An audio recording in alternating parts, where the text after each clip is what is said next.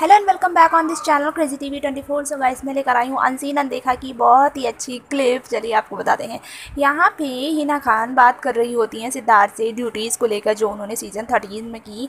तो सिद्धार्थ ने कहा, मैंने हमेशा शॉपिंग की है एंड बेड्स मतलब चादर वगैरह बेडरूम देखा है। तो हिना कहती, बस, तुझे वही मिला? तो सिद्धार्थ कहते, हैं हाँ मुझे एक महीना तो बिग बॉस ने दिया था शॉपिंग वो तो मैंने शिद्दत से किया है। तो हिना कहती, हैं, उस, कहाँ किया? तो कहा, नहीं, मुझे करना नहीं आता, लेकिन शहनाज मेरा हमेशा से ही करवा देती थी फ़र्स्ट वीक से ही करवाने आ जाती जाती थी। वो सभी का हेल्प करती थी। इस तरीके से सिद्धार्थ बोलते हुए नज़र आए हैं। उसके बाद हिना ने कहा कि, तूने कभी किसी की हेल्प की है? मतलब लाइक आरती शहनाज के लोग पूछती हैं। तो सिद्धार्थ कहते हैं हाँ मैंने भी एक बार शहनाज का किया है। जब वो ड्यूटी उसको बर्तन की दी गई थी तो मैंने किया था। तो हिना कहती अच्छा तो वैसे किया था? जैसे तूने आज मेरे साथ किया है? मतलब लाइक वो पूछती हैं कि मतलब जैसे तू मेरे साथ करा देता है हेल्प तो जैसे बर्तन में लगा वगा रहता है, इस तरीके से पूछ रही थी।